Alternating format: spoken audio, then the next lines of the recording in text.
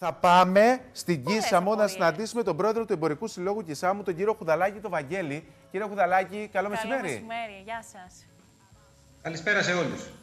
Τι κάνετε; Είμαστε καλά, πολύ χαρούμενοι. Εγώ ε, την αλήθεια μου τη λέω, επειδή έχω καταγωγή από τη Ρόδο, δυστυχώς δεν έχω αυτή τη χαρά και αυτή την τιμή έτσι να επισκεφθώ το μεγάλο παζάρ, γιατί νομίζω ότι για αυτά τα δύο χρόνια του κορονοϊού δεν μπόρεσε να πραγματοποιηθεί. Ναι, δεν πραγματοποιήθηκε, Και η κάπως αλήθεια είναι. επανέρχεται τώρα και τώρα που μπορώ, θέλω όλες τις πληροφορίες για να έρθω. Τι σας ζητάω, Να, ό,τι μπορείτε να μου πείτε να το μάθω. Τι είναι αυτό το, το παζάρι της Μεγάλης Παρασκευής, Για πείτε μας, κύριε Χουδαλάκη.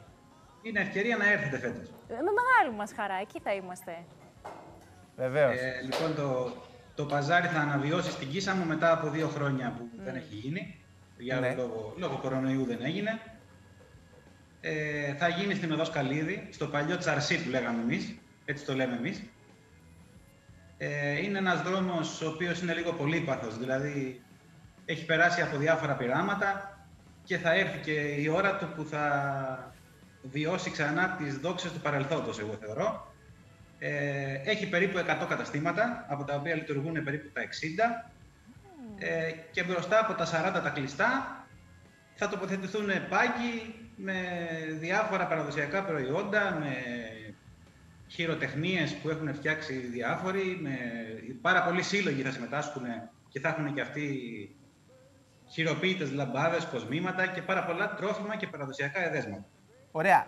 Ε, τι θέλετε να εκπέμψετε με όλη αυτή τη μεγάλη προσπάθεια; Και νομίζω ότι είναι μια προσπάθεια που επειδή είναι ε, συλλογικη θα υποστηριχθεί πάρα πολύ από όλους εμάς. Και είναι ο λόγος για τον οποίο που ε, βρήκαμε σήμερα τόσα πολλά ενδιαφέροντα στοιχεία μέσα σε αυτή την είδηση και γι' αυτό το λόγο τα συζητάμε σήμερα. Κάτι διαφορετικό γεννιέται εκεί στην Κίσαμο.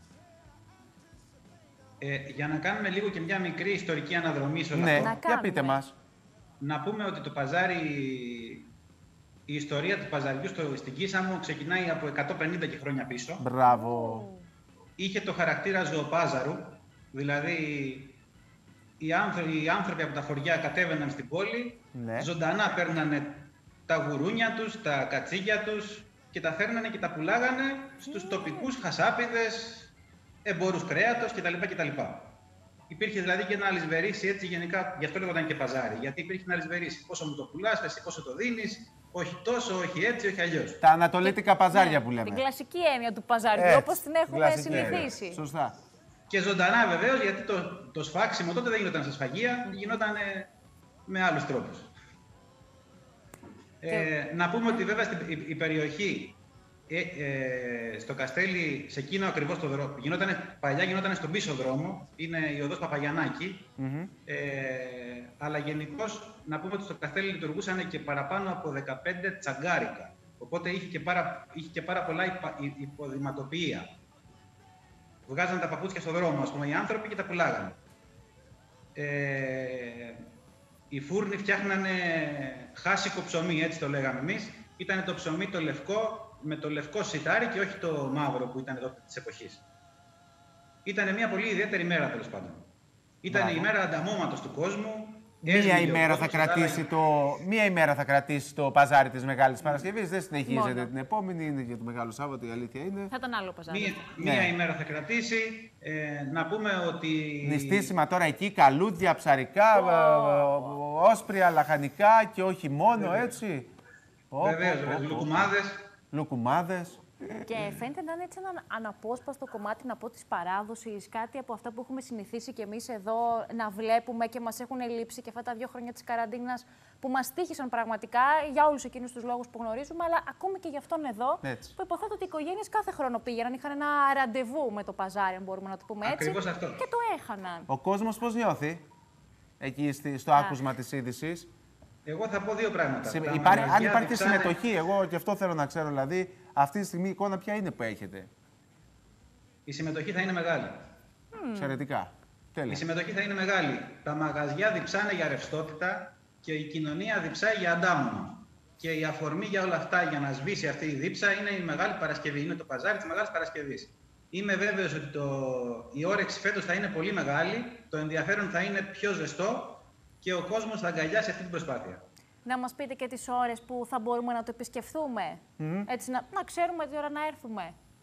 Ναι, βεβαίως. Έχουμε βάλει ωράριο από τις 11 μέχρι τις 5 το απόγευμα. Τέλεια.